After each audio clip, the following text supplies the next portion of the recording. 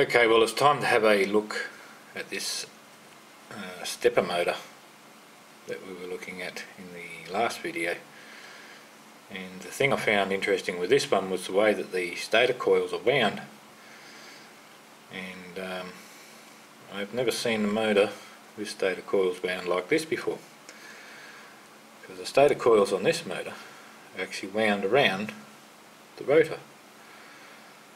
So um, can see we have one and two coils. Now I do understand how it operates after looking at it closely and um, rather than tell you I might let you have a think about it and see if you can work it out yourself. But uh, yeah, I've never seen an electric motor with the coils wound around the rotor itself like this.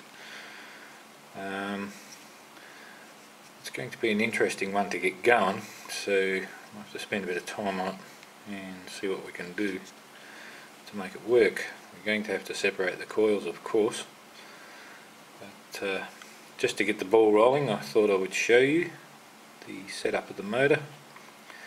Uh, some may already know about these motors, have seen them, quite commonplace for them, but uh, for me I've never seen a motor with the coils wound around the rotor.